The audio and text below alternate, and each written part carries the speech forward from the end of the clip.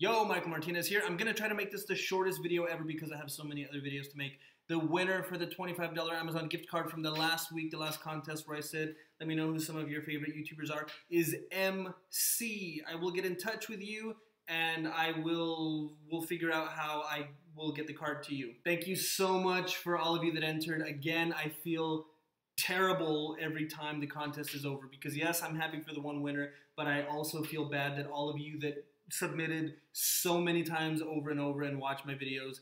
Didn't get to win, but thank you so much for entering. And I know that I've been so awful lately about replying to comments. I read every single one of them. I have to in order to know that you submitted and figure out who won. But I don't always have time to sit there and reply to every single one of them. You know why? Because I don't just put happy face, happy face, heart, hi, thanks. I want them to be meaningful, thoughtful responses. And that's how I've always responded to you guys, and that's how I always want to. That's why sometimes, even though I have a big lag and it seems like I'm not talking with you guys, it's because I want to give myself a good window of time to go back and do that so they can be meaningful, thoughtful responses. So I will get back to being a human being and responding to all of the comments again soon. But in the meantime, I do see all of them and thank you so much. It, it really does mean a lot for you guys to comment. It might sound pathetic and you know, you wonder why does it mean that much to you? Don't you have other things going on in your life? Yeah, but uh, still, it, this kind of makes me feel better about all those other annoying things that are going on in my life. So every time you guys comment,